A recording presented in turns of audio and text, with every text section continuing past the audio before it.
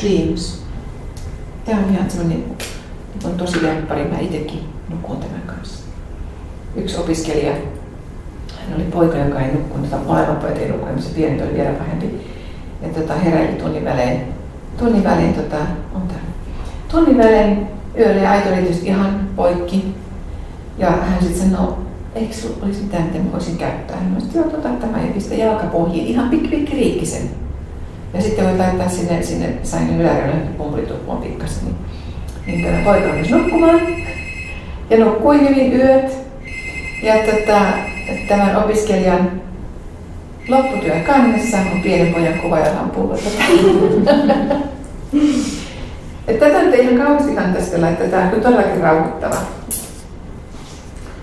Jos haluatte kuulla, kuulla lopputasasta, ei kannata hirveästi laittaa.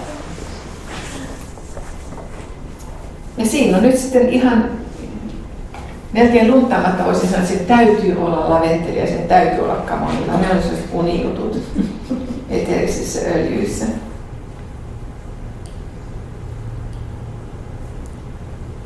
Joo, kamomilla löytyi. Löytyykö laventeli? Oli se siellä. Molemmat on siellä. Ne on se historiasta nousseita unen, unen tuottajia.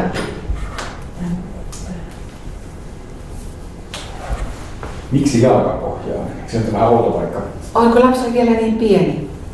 Et periaatteessa en, en, en suosittele niin isoja määriä käytettäisi pieni lapsen näitä. Et sen verran vaan, että se tulee nyt pieni pieni vaikutus. Se, se tuoksuvaikutus tulisi sieltä pumpulista siellä. Et sen verran vaan, että se lapsen keho rentoutuu. Niin se tarkoittaa, että täällä on molemmat vaikutukset, fyysinen ja sitten tuoksuuden Kyllä. vaikutus. Kyllä, on. Täällä on molemmat. Tämä on